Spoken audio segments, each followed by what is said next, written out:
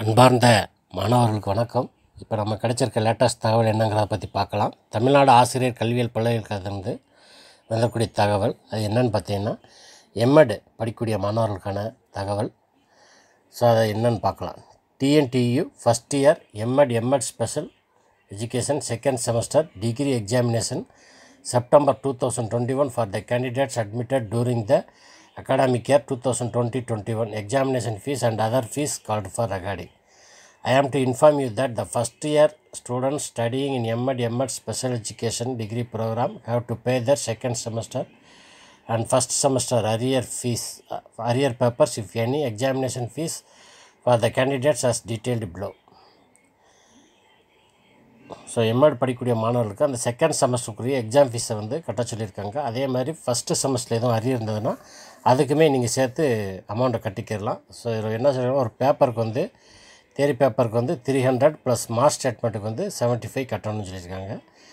So இதுக்கு வந்து last date என்னைக்குன்னு பார்த்தீங்கன்னா முப்பத்தி ஒன்று எட்டு டூ தௌசண்ட் டுவெண்ட்டி ஒன் முப்பத்தி ஒன்றாந்தேதிக்குள்ளே கட்டணும்.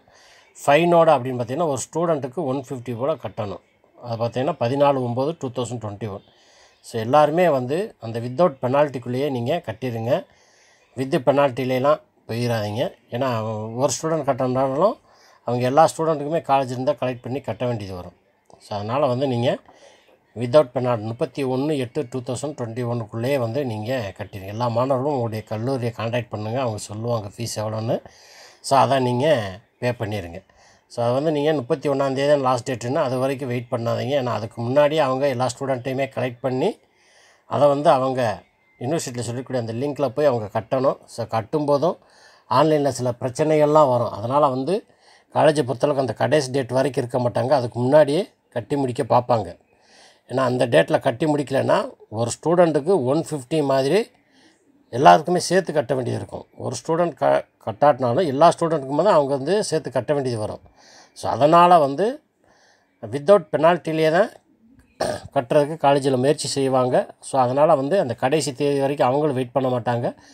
அதனால் எக்ஸாம் ஃபீஸ் கட்டக்கூடிய மாணவர்கள் வந்து நீங்கள் கடைசி தேதி வரைக்கும் வெயிட் பண்ணாமல் அதற்கு முன்னாடியே உங்கள் காலேஜை காண்டாக்ட் பண்ணி உங்களுடைய ஃபீஸுகளை வந்து நீங்கள் கூடிய சீக்கிரம் கட்டிடுங்க ஸோ இன்றைக்கி தேதி இருபத்தி ஒன்றுன்னு சொன்னால் அதிகபட்சம் ஒரு இருபத்தி அஞ்சில் இருபத்தி அஞ்சு இருபத்தி ஏழுக்குள்ளே நீங்கள் கட்டி முடிச்சிருங்க. ஸோ அந்த அரியர் பேப்பர் இருந்துச்சுன்னா அதுக்குமே தனியாக வந்து அந்த மாஸ்டர் அட்மெண்ட் தனியாக ஒரு செவன்ட்டி ஃபைவ் கட்ட வேண்டியது இருக்கும் அப்படிங்கிற மாதிரி சொல்லியிருக்காங்க.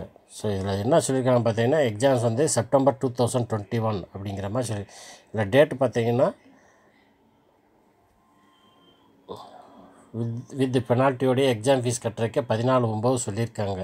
செப்டம்பர் பாதி வந்துடுது ஸோ அப்படிங்கும்போது அந்த செப்டம்பர் எண்டில் இருக்கிறதுக்கான வாய்ப்பு இருக்குது அப்படி இல்லைன்னா அக்டோபர் ஃபஸ்ட்டு வீக்கில் எக்ஸாம்ஸ் வருவதற்கான வாய்ப்பு இருக்குது ஸோ இவங்களோடய சேர்த்து அந்த பிஎட் மாணவர்களுக்கும் எக்ஸாம்ஸ் கண்டக்ட் பண்ணுறாங்களா என்னங்கிறத நம்ம அடுத்து பார்க்கணும். ஏன்னா அவங்களுக்கு அடுத்து இந்த நாமினல் க்ரியேட் ஆயிடுச்சுன்னா அடுத்து அவங்களுக்குமே வந்து இந்த எக்ஸாம் ஃபீஸ் பற்றின தகவல் அடுத்து சொல்லுவாங்கன்னு நான் நினைக்கிறேன்.